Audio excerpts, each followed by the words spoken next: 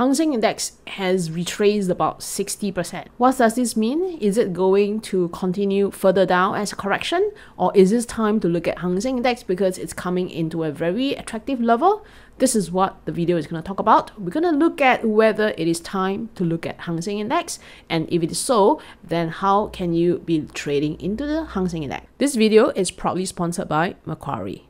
Now this is a three-month quarterly price chart of Hang Seng Index from 2000 until right now, 2024. Now the price movement is still uptrend, as you can see from this trend line here. At the same time, last few bars, that means the last few quarters, we've seen that price getting supported uh, on this particular trend line. Now, one thing to mention, which uh, I want to talk about the last quarter close. The last quarter had a close above the previous quarter high. So previous quarter high, so that's the Jan to March price movement of HSI in 2024 had a similarly look alike hammer pattern. Okay, so that's deemed as bullish, right? And we saw a close above the high of this uh, hammer pattern, which is shown as this bar here, and that again is to reinforce the slight bullishness that's coming in uh, enhancing. Now let's move through the weekly chart. Now weekly chart, we saw that the start of 2024 to about May 2024, it was an upward movement and then priced is right now retracing downwards. Right, I'm going to use this technique which is called Fibonacci retracement to draw from the low to the high. So by doing so, that right now the price is being supported at a 62% Fibonacci retracement. So this is one of the uh, better level because this 62% is known as the golden ratio. So I think that probably we're going to have a bit of support here. And at the same time, if you take a look at the weekly close right now, as of the time of recording, it's Friday and the market has already closed, right? We saw that the weekly had closed above the previous week high.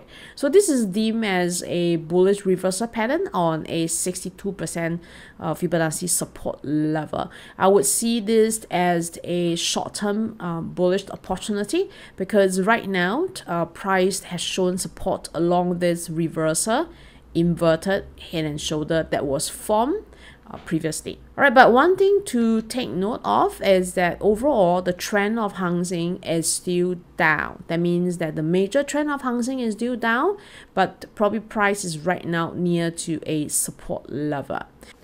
Alright, here I have mapped in two key levels which are two resistance levels for Hang Seng should price move up. So the first level will be 18,250. Now why is this level here? We saw that there was a turning point or rather some uh, zones which Hang Seng reacted to around this level, especially around 2016 and then also during uh, 2022. These are the two low levels that Hang Seng reacted to and I think that probably if price is to move up, we might see the first resistance around 18,250. All right, and the next level of resistance will be around 19,690 and that's probably around 19,700. So with this, I would like to explore the use of warrants because warrants is good for short-term trading, especially when the long-term trend of Hang Seng is still down, but is showing a short-term price rebound at this moment.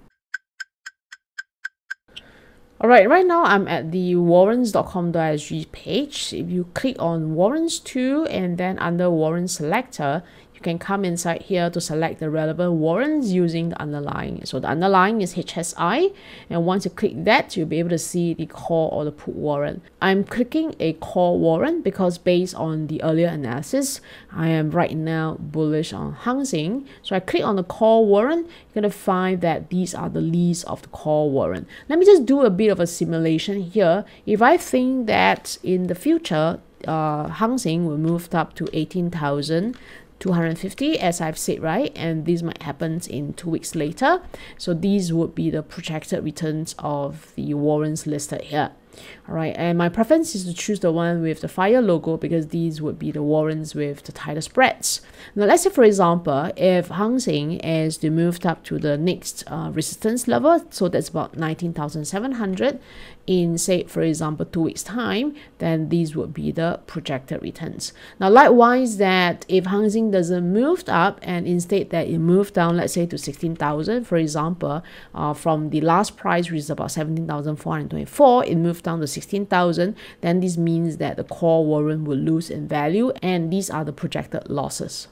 Overall, Hang Seng is still in a downtrend but showing short-term bullish reversal.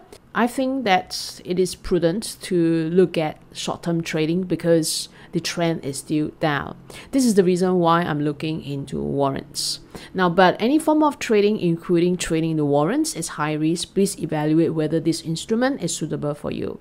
And I come to the end of this video here. If you would like me to talk about other stocks, please remember to leave me a comment and I see you in my next video.